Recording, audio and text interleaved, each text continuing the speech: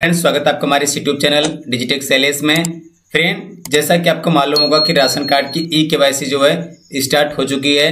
तो आपको भी अपनी ई केवाईसी कराना बहुत ही ज़रूरी है। अगर आप अपने राशन कार्ड की ई केवाईसी नहीं कराते हैं तो आपके राशन कार्ड से आपका नाम कट जाएगा, यानी कि हटा दिया जाएगा।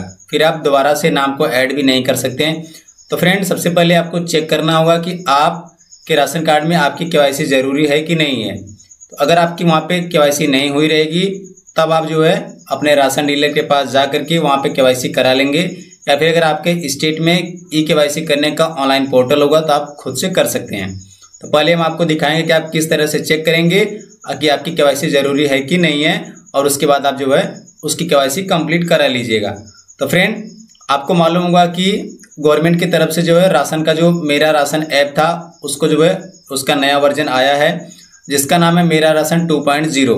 अब उसमें आपको जो है ढेरों सारी सर्विसेज़ देखने को मिल जाएँगी, जो काम आप पहले खुद नहीं कर पाते थे, अब आप उन कामों को उस एप्लीकेशन के ज़रिए कर सकते हैं।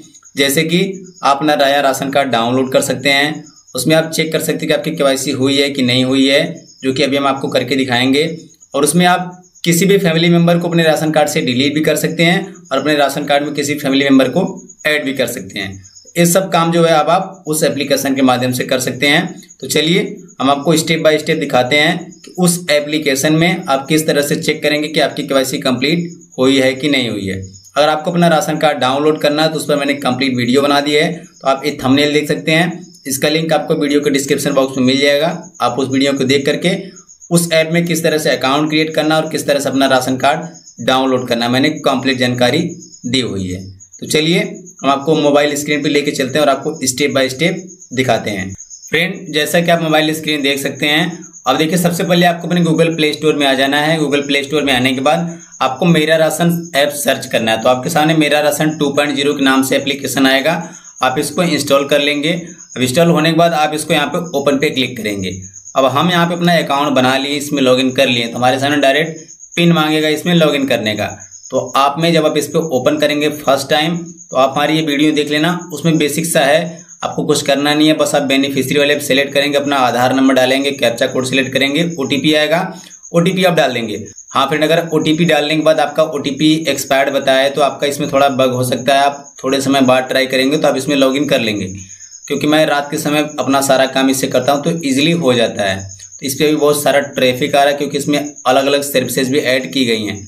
तो यहाँ पे आप जब इसमें लॉगिन करेंगे तो ओटीपी डालेंगे लॉगिन हो जाएगा पिन क्रिएट करना होगा तो आप पिन क्रिएट कर लेना। और आप ये वाली वीडियो हमारी देख सकते हैं, जिसमें मैंने राशन कार्ड को डाउनलोड करने का प्रोसेस दिखाया। तो आप उससे समझ जाएँगे, राशन कार्ड डाउनलोड भी कर लेंगे, अकाउंट भी क्रिएट कर लेंगे। तो सबसे पहले देखिए हमारा पिन मांग रहा है। तो हम यहाँ पे अपना जो पिन बनाए हैं, वो पिन हम यहाँ पे डाल देते हैं। पिन डाले मत वेरीफाई पे हम क्लिक करेंगे। अब हम जैसे ही वेरीफाई पे क्लिक करेंगे, आप देख सकते हैं यहाँ पे हमारी स्क्रीन पे इस तरह से हमारा राशन कार्ड ऊपर शो कर रहा है। ऊपर फ्रंट साइड है। अगर हम इस पर एक बार टैप करेंगे तो हमारा यहाँ पे बैक साइड आ जाएगा। इस तरह से आप ट्रैक कर लेंगे। अब आपका राशन कार्ड अगर आपको डाउनलोड करना तो आप यहाँ पे देखिए एक एरो बनाया छोटा सा आप सिंपली इस एरो पे क्लिक करेंगे, आपका राशन कार्ड आपके सामने डाउनलोड होकर के आ जाएगा फ्रंट साइड बैक साइड यहाँ पे फ़ोटो का ऑप्शन भी बनाया गया है।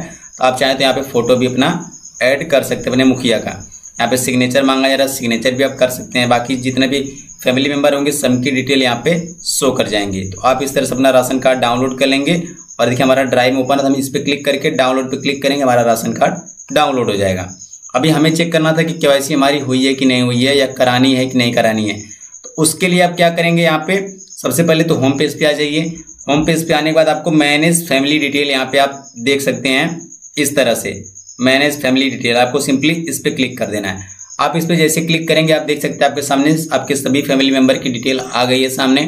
तो इसमें से फ्रेंड देखिए, जिस भी फैमिली मेंबर के सामने यहाँ पे देखिए, आधार के लिखा है। आप यहाँ पे मैं आपको हाईलाइट करके दिखाता हूँ, ए रहा ए रहा और इसी तरह से ए रहा ए रहा। तो जहाँ पे आधार के लिखा हुआ, के लिखा हुआ, आपका नॉट वेरीफाइड है। अगर रेड कलर से है फ्रेंड तो आपका के वाई कंप्लीट नहीं हुई है। हम आपको एक बार उस पर टैप करके दिखाएँगे कि आपको कौन सा ऑप्शन उसमें आता है।